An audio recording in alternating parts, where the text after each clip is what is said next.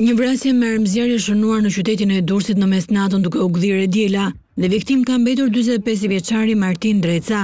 Ngjarja sipas policisë ka ndodhur në orën një pas mesnatës së të shtunës. Dyzet e pesë vjeçari Martin Dreca është gjendur i pajetë brenda makinës së tij, pasi është qëlluar me armë automatike. Policia e Durrësit ka arritur të zbardhë ngjarjen dhe të identifikojë autorin i cili dyshohet se është tridhjetë e shtatë vjeçari Ndue Zefi, të cilin e ka shpallur në kërkim. Vrasja ka ndodhur në zonën e ish Kënetës, ndërsa shkak i saj mendohet se ka qenë një sherr momental mes viktimës dhe autorit në një lokal mbrëmjen e së shtunës. Në vendngjarje kanë mbërritur ekspertët e policisë, të cilët kanë gjetur dhe sekuestruar pesë gëzhoja.